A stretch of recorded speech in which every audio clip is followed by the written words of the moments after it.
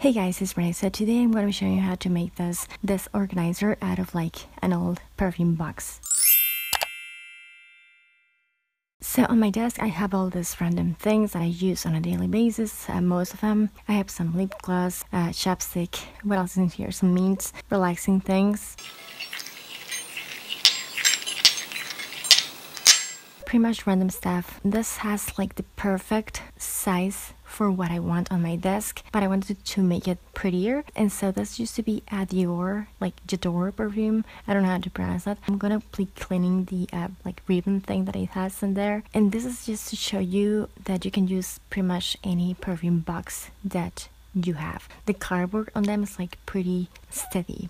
I'm going to be making this shorter from front. So I'm just going to mark how much I'm going to be cutting and then I'm just going to be using my X-Acto knife going with my X-Acto knife first being real careful. If you go for this method just be real careful not to cut yourself. Then I'm just going to be cutting from like the front part going in a bit of an angle uh, marking with my ruler just to have like a straight line and then just going with my scissors. To make this an organizer I'm just going to be using this cardboard box. I did the review on that one if you wanna check it out, but I love it. But anyways, I'm going to be pretty much using the cardboard out of that one because it has like the perfect size. So I just need one piece for like the middle part in there. I'm just gonna be placing that in the middle, kind of like arranging everything just to see where I need it to be. And then I'm just gonna be marking this and I'm gonna be cutting it. And once I've done that, I'm just going to be gluing this with my like regular white glue. Then I found the studs around the house. I'm just going to be um, using them to decorate this. I'm going to be gluing them with my